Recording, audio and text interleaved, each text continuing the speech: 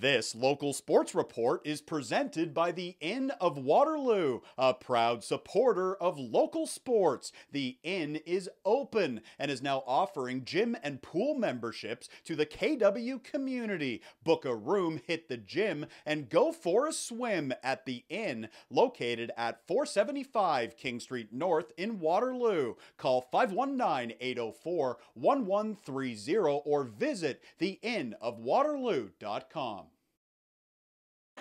Junior B lacrosse from the Galt Arena Gardens, the Cambridge Highlanders back in front of the home crowd on Sunday night.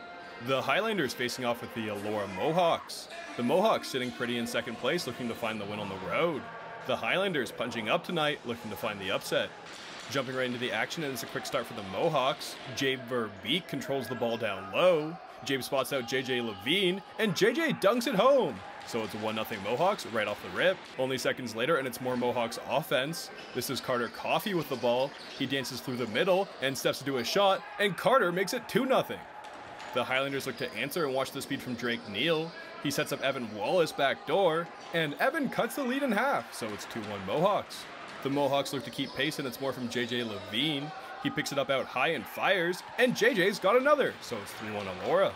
The Highlanders back the other way here on the power play looking to strike before the break.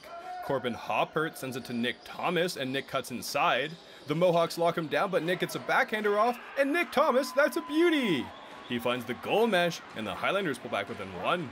Late in the period, now the Highlanders with the momentum looking to tie it. Ryder Roberson sends it to Tyler Graham, and he fakes a shot. Tyler charges the net and equalizes the game! So it's 3 3 heading to the second. Jumping to the second, now the Highlanders picking up where they left off, and how about Ryder Roberson? He cuts to the net, and Ryder, that's your first career OJBLL goal! And it's a big one, as the Highlanders take their first lead of the night. And the Highlanders wouldn't stop there. Minutes later, and it's more from Evan Wallace. He rips it on net from outside the circle, and the ball trickles in! So it's 5 3 Cambridge. The Highlanders rolling, and moments later, it's more from Ryder Roberson. He's alone out front, and he buries another! That's two for the Highlanders rookie, and it's 6 3 Cambridge. The Mohawks on the counterattack now looking to stem the Highlanders' momentum. Carter Coffey converts, and Elora are back within two.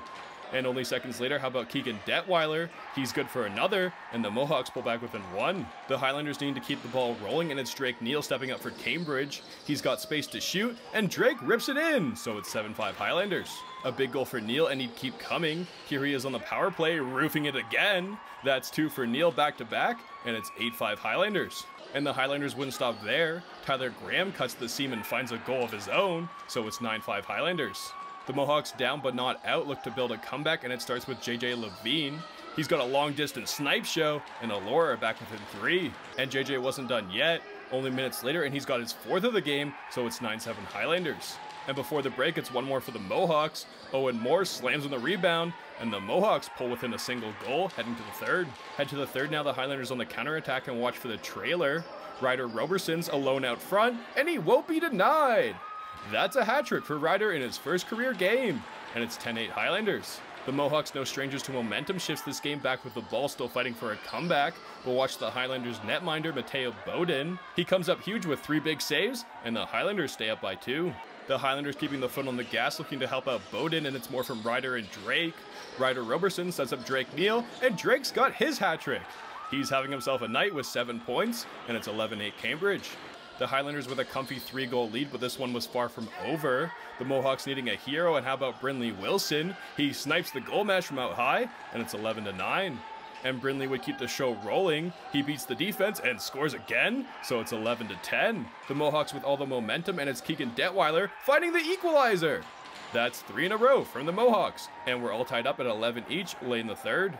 The Mohawks riding high, and here comes Captain Clutch Brinley Wilson. He cuts inside, and Brinley Wilson, that's the game winner! What a player and what a game for the Elora Mohawks as they rally for a comeback. Brinley Wilson putting the team on his back as the Mohawks come out on top. This one ending with a final score of 13 to 11.